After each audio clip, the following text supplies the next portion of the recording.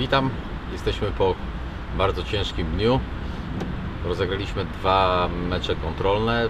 Pierwszy mecz kontrolny z dobrym przeciwnikiem, ze Stomilem Olsztyn. Tym razem mogliśmy przećwiczyć y, grę w obronie tak, całej drużyny.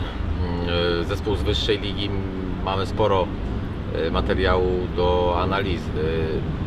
Bardzo przydatny sparring, tak? Tutaj w porównaniu z tym pierwszym meczem z, mo- z motorem mogliśmy y, zobaczyć nasze ustawienie w obronie.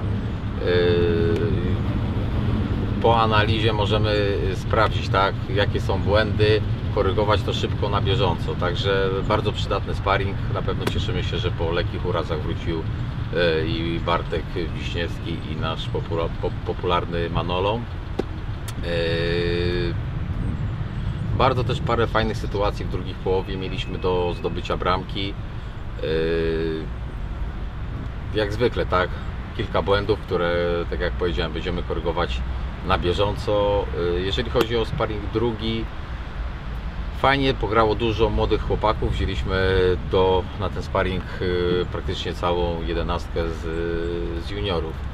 Także cieszymy się. Mm, Pojętni uczniowie, też y, przydatny sparring. y, Można powiedzieć, że nie- niektórzy z nich y, grali pierwszy raz, mieli styczność pierwszy raz z drużyną seniorów. Tutaj no fajnie wygra, wygrany mecz, ale też na pewno bardzo dużo fajnych akcji. I Czarek zdobył dwie bramki, i młodzi widać, że nie byli stremowani, bardzo fajnie grali. Oczywiście nie ostrzeliśmy się błędów, także też fajny materiał do analizy. Yy, fajnie, że młodzi zaczynają yy, okrywać się tak, yy, w, pierwszej drużynie, gdy jest możliwość taka. Mm, Zapraszamy ich na trening, czy to, czy to na mecze kontrolne, tak jak to było i rok temu.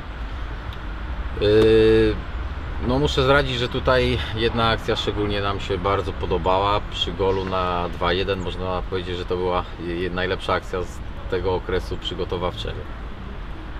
Cieszymy się na pewno, że na tym ciężkim terenie y, no praktycznie jesteśmy lekko może poobijani, ale, y, ale każdy jest y, gotowy do treningu, nic się nie stało.